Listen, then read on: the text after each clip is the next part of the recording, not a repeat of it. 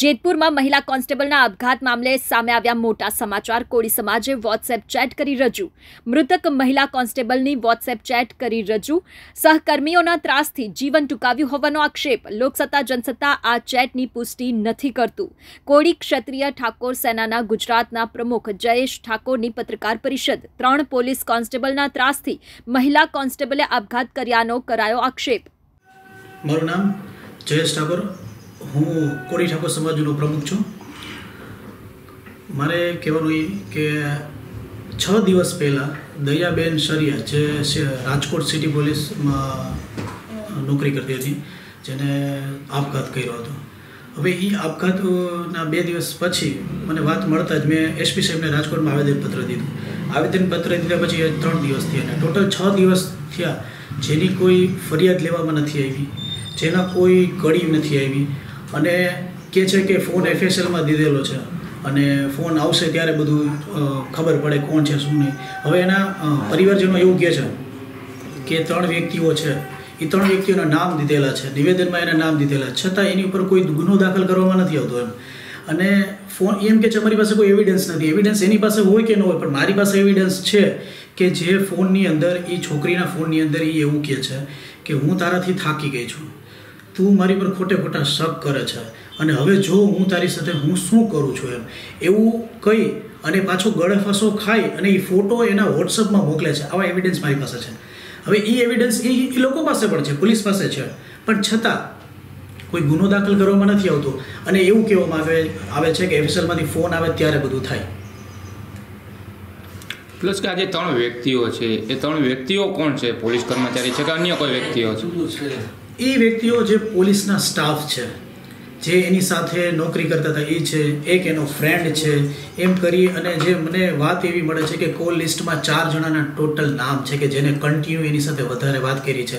Plus તેને police through અને એના મિત્ર થ્રુ મને એવું જાણવા મળ્યું છે કે એને જેતપુરના બસ સ્ટેન્ડની અંદર એ બેઠા હતા અને એને ફોન કોઈ એક વ્યક્તિ એને જોઈ ગયો કે ભાઈ આ લોકો અહીંયા બેઠા છે. તો એ બાબતે એને ત્યાં ઝઘડો થયો અને ઝઘડા માટે એને પોલીસને પણ બોલાવી, ફોને કર્યું. અને મને પોલીસ થ્રુ એવું કહે છે, મેં કીધું કે ભાઈ ઝઘડો થયો તો એ બાબતે શું થયું? તો પોલીસ મને એવું કહે છે કે એને લેન્ડ ગ્રેબિંગની કોઈ ફરિયાદ કરી હતી અને એના બાબતે એને સો નંબરની બોલાવી. પણ હકીકતનો મને કોઈ એવો દેખાવ નથી આવતો. પણ મને એવું પણ આમ અહેભાસ થાય છે કે એ અત્યારે જે બસ સ્ટેન્ડની અંદર જે સીસીટીવી ફૂટેજ હશે ને, એ પણ મિટાવવામાં આવશે. કારણ કે હરેક કડી દબાવવામાં આવે છે. આટલું કહેવા છતાં આવેદનપત્ર દેવા છતાં કોઈ પણ વ્યક્તિનું કાંઈ પણ નામ બહાર નથી આવતું. ઇવન એ લોકોને એ લોકોને બોલાવવામાં, બોલાવીને ખાલી જવા દેવામાં આવે છે. હમણાં કોઈ નોર્મલ પબ્લિક હોય, કોઈ પોલીસમાં ન હોય, તો એને સીધા નામ જરાક પણ ખુલે ને તો એને ઉપાડીને સર્વિસ કરવામાં આવે. અને પોલીસનો સ્ટાફ છે તો એનો મતલબ એવો એને સપોર્ટ કરવાનો મિત્ર મિત્રને સપોર્ટ કરે. એટલે એના કારણે એને ખાલી સપોર્ટ કરવામાં આવે છે. કોઈ એની ઉપર કોઈ કાયદેસર કાર્યવાહી કરવામાં નથી આવતી. એટલે પોલીસ છાવરે છે બીજા પોલીસને એવું કહ્યું છો તપાસ સો ટકા પોલીસ છાવે છે કાંઈ એને સામે કોઈ વ્યક્તિને લઈ આવતા નથી કોઈના નામ નથી આપતા અને એવું કહે છે કે સુસાઇડ કર્યું છે. એટલે આપની પાસે એવિડન્સ છે આપ કહો છો? હા. તો એવિડન્સ છે? તો મોબાઈલના એવિડન્સ છે? મોબાઈલના એવિડન્સ છે કે જ્યારે તેને સુસાઇડ કર્યું ત્યારે એના ફોનની અંદર બે પાંચ મિનિટ પહેલાં જ્યારે પોલીસે એ ફોનની અંદર જે ઓપન કર્યું ને ત્યારે એના ફિંગરથી એનો લોક ઓપન કર્યો. લોક ઓપન કરી કે બેટરી બે ટકા જ હતી. એટલે એને શું કર્યું? ફોન ઉપર રેકોર્ડિંગ ચાલુ કરી દીધું. રેકોર્ડિંગ ચાલુ કરીને ફેરવીને ટોટલ મેસેજ સ્ક્રીનશોટ કેને મોકલું છે, કેને નહીં કેની સાથે ઝઘડો હાલતો હતો, ગળા ફાંસો ખાધો એ બધા ફોટો પાડી અને એને ફોરવર્ડ કરેલા છે. એટલે જે ચેટ છે, એ કોની સાથેની ચેટ છે? કેમ કે તમે તો એ ચેટ જોઈ છે તો. હા, એ ચેટ એની અંદર ફોનમાં નામ અભય કરીને દેખાય છે. અભય રાજસિંહ એવું કંઈક નામ દેખાય છે. અને એક નામ અંદર કુલદીપ કરીને નામ દેખાય છે. આ બે મને અંદર એની ચેટમાં નામ દેખાય છે. એટલે તમે એમ કહેવા માંગો છો કે અત્યારે પોલીસ એમ કે છે એફએસએલમાં મોબાઈલ મોકલાવો છે. પણ ઓલરેડી મોબાઈલ ઓપન જ છે. મોબાઈલ ઓપન છે મારી પાસે તેનો એવિડન્સ છે કે મોબાઈલમાંથી ટોટલ એનો ચેટ એની પાસે છે. હવે એફએસએલમાં દેવામાં આવે છે એફએસએલમાં દે છે તો એફએસએલમાં તો આમે વારો લાગવાની છે. હવે એની પાસે જે આ એવિડન્સ છે એ એવિડન્સ ઉપર તો ગુનો દાખલ થાય જ.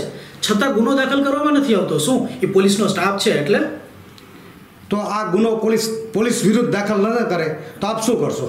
જો પોલીસ વિરુદ્ધ આ ગુનો દાખલ નહીં કરે ને તો ગુજરાતના ટોટલ જિલ્લામાં અમે આવેદનપત્ર દેશું.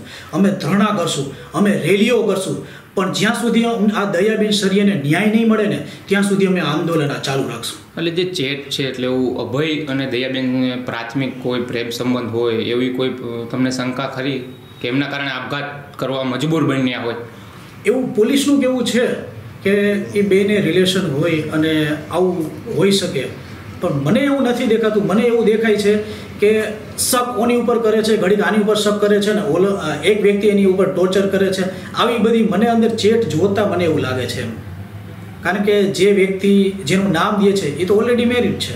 એટલે કેટલા વ્યક્તિ પોલીસ સંડોવાયેલા હશે આમાં? કેટલા આમાં વધુમાં વધુ ત્રણ વ્યક્તિઓ લાગે છે કે જેની અંદર સંડોવાયેલા છે. પણ જો અંદર પૂરી રીતે અને ધ્યાનથી જો તપાસ કરવામાં આવે ને તો ઘણું આમાં નીકળે એમ છે. મને એવું દેખાય છે. ત્રણે ત્રણ જે પોલીસ કર્મચારીઓ છે એમના તમને નામ આવડે છે? મને ત્રણના નામ નથી ખ્યાલતા પણ એક મનદીપ શું નામ? એક અભયરાજસિંહ કરીને છે અને એક મનદીપસિંહ એવું કંઈ કરી નામ છે. અમે જ્યારે ડીવાયએસપીને ત્યાં નિવેદન દેવા ગયા ને ત્યારે ફરિયાદી જેના દયાબેન છે એના મમ્મીએ એવું લખાયું છે કે ભાઈ થોડ પંદર દિવસ પહેલાં એને એક કોલ આવ્યો હતો. એના ભાઈ બે વાત કરતા. દયાબેન એ એના મમ્મીને એવું કહે છે કે, ભાઈ, મને આ લોકો હેરાન કરે છે. ત્રણ વ્યક્તિઓ જે છે મને વારંવાર હેરાન કરવામાં આવે છે. અને પછી એના મમ્મીએ એવું કીધું, તો પછી હું ત્યાં આવતી રહું કે તું અહીં આવતી રહે? તો પછી દયાબેને એવું કીધું કે, મારે ત્યાં આવું જ નથી. એમ કરીને એને ફોન કટ કરી દીધો. એ એ ફરિયાદની અંદર નામ જોગે ફરિયાદીએ લખાવેલું છે. ત્રણ નામ.